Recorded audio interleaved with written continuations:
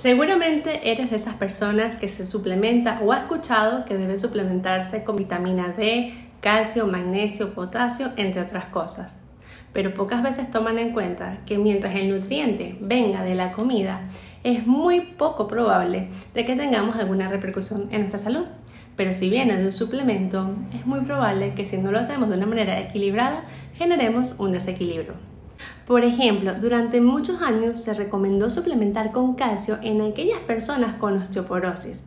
Sin embargo, estudios posteriores descubrieron que aquellas personas que solamente se habían suplementado con calcio habían aumentado su predisposición a padecer de enfermedades coronarias. Esto se debe a que para que se fije el calcio en nuestro organismo necesitamos de otros nutrientes que estén en un buen equilibrio. Y si tenemos deficiencia, por ejemplo, de vitamina D o de vitamina K, es muy probable que este calcio que esté circulando se pegue a las paredes y podamos padecer de alguna enfermedad coronaria. Aunque la interacción entre el calcio y la vitamina D es una de las más estudiadas, no es la única. Por ejemplo, si tomas vitamina D, debes tener en cuenta cómo están tus niveles de magnesio, ya que se necesita mucho magnesio para metabolizar el exceso de vitamina D. Es decir, si tienes una deficiencia de magnesio y consumes vitamina D, esa deficiencia va a empeorar aún más.